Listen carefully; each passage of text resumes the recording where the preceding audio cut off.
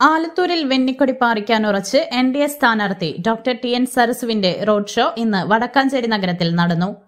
വടക്കാഞ്ചേരി മണ്ഡലം പ്രസിഡന്റ് നിത്യാസാഗർ കൈപ്പറമ്പ് മണ്ഡലം president Vinayan general സെക്രട്ടറിമാരായ Vineesh S Raju Anilkumar K V Nandakumar Vadakkanchery area president Krishnanunni Mundathikode area president Ranjith councillor Kavitha Krishnanunni Mulakunnathukavu ഗ്രാമപഞ്ചായത്ത് അംഗം വനജ മോഹൻ തുടങ്ങി ഒട്ടനവധി നേതാക്കളും നൂറുകണക്കിന് പ്രവർത്തകരും റോഡ് ഷോയിൽ കണ്ണികളായി.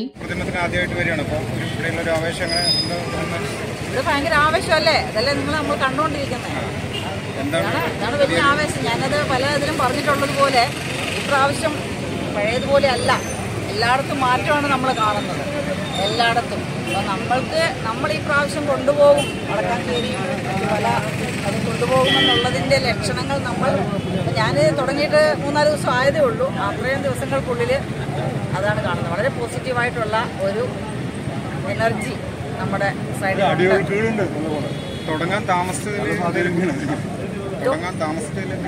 തുടങ്ങാൻ താമസിച്ചു എന്ന് പറഞ്ഞിട്ട് അതൊരു വിഷയമൊന്നും അല്ല പിന്നെ ആർക്ക് ആരാണ് നേരത്തെ തുടങ്ങിയ ആൾക്കാർ അവരെ കൊണ്ട് വല്ല ഗുണമുണ്ടോ?